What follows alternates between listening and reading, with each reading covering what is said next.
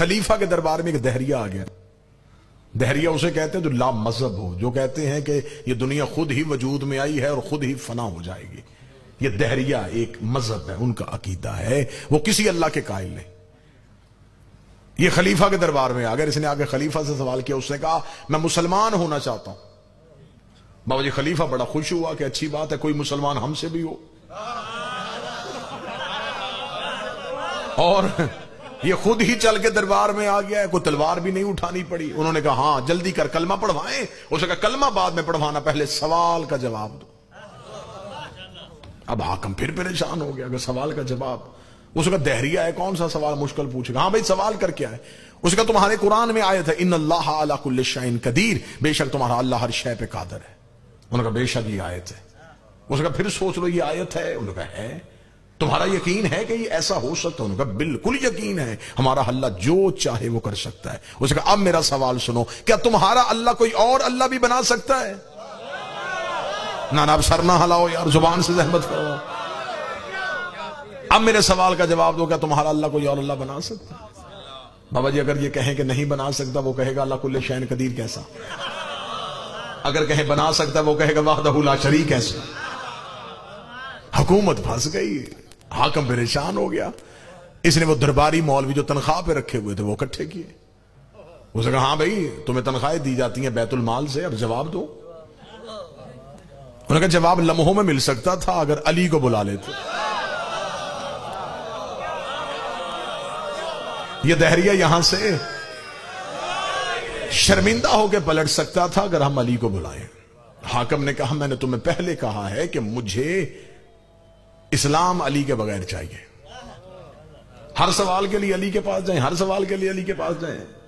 تم اس کا کوئی جواب تلاش کرو انہوں کا پھر جواب تلاش کرنے کے لیے وقت چاہیے۔ کتنا انہوں کا تین دن؟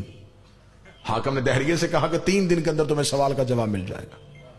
دہریہ چلا گیا، تیسرے دن کو دہریہ دربار میں آ کے کھڑا ہوگا اس کا لائیں جی سوال کا جواب۔ یہ باتیں اور ریکارڈ ہیں تاریخ کا حصہ ہیں حاکم نے علماء کو بلایا۔ علماء کو بلا کے ہاں بھائی، اس کے سوال کا جواب دو جس کے لیے تین دن کی مہلت مانگی تھی۔ جواب تیار ہے انہوں نے کہا جی بالکل تیار ہے انہوں نے کہا، کیا جواب ہے؟ انہوں نے کہا، جواب یہ ہے کہ اس کو قتل کیا جائے گا۔ اس کا جرم، اس کا توہین مذہب۔ ہمارے اللہ کی توہین۔ ہمارے مسلمانوں کے دربار میں کھڑا ہو کے پوچھ رہا ہے کہ کیا اللہ کوئی اور اللہ بنا سکتا ہے۔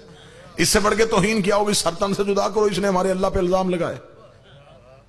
حاکم نے کہا، پکی بات ہے، یہ سزا اسلامی ہوگی۔ انہوں نے کہا، بالکل اسلامی ہوگی۔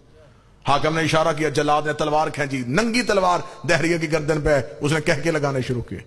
حاکم نے کہا، کیوں کہہ کے لگا رہا ہوں؟ میں دیکھوں گا کون بندہ مجلس میں جا کر ہے۔ اسے کہا، کہہ کے کیوں لگا رہا ہوں؟ اسے کہا، تیری بے بسی پہ لگا رہا ہوں۔ میں جا رہا ہوں، سوال زندہ ہے۔ آیا میں تو جا رہا ہوں۔ سوال تو زندہ ہے۔ اگر تیرے اندر طاقت ہوتی، سوال کو مارتا۔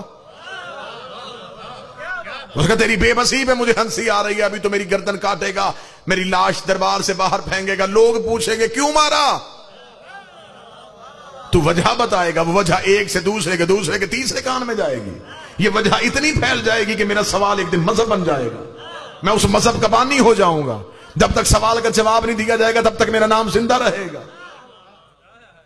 حاکم نے کہا، فوراً جلا سے تلوار اٹھاؤ۔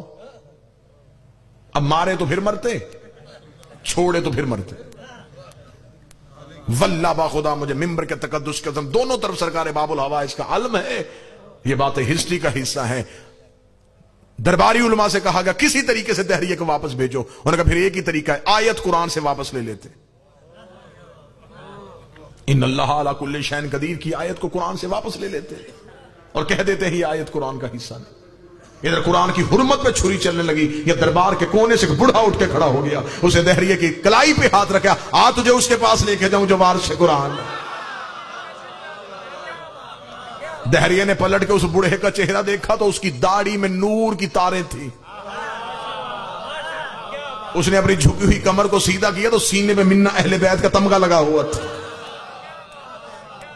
آگے آگے سلمان چلا، پیچھے پیچھے دہریہ چلا۔ سلمان اپنی نظروں سے سرات مستقیم کے رستے تعین کرتا ہوا دہلیز امیر المومنین کی جانب پڑا امیر المومنین کا دروازہ آیا۔ سلمان نے سر سیدے میں رکھا، اپنی ریش کو علی کی دہلیز کے ساتھ مس کیا۔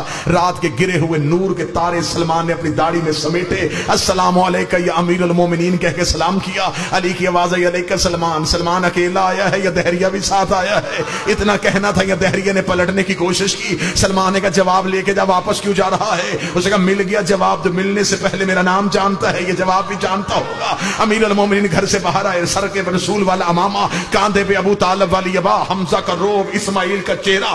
لے کے امیر المومنین دروازے کے باہر آئے، باہر آ کے تو نے سوال کیا تھا، اللہ علا کل شہر قدیر ہے یا نہیں ہے؟ فرمایا، بے شک ہمارا اللہ علا کل شہر قدیر ہے۔ تیرا دوسرا سوال یہ تھا کہ کیا وہ اللہ بنا سکتا ہے؟ علی کی واضح وہ ایک نہیں، ایک ہزار اللہ بنا سکتا ہے، لیکن وہ جتنے بھی بنائے گا، خالق وہی رہے گا۔ وہ سب مخلوق کہلائے۔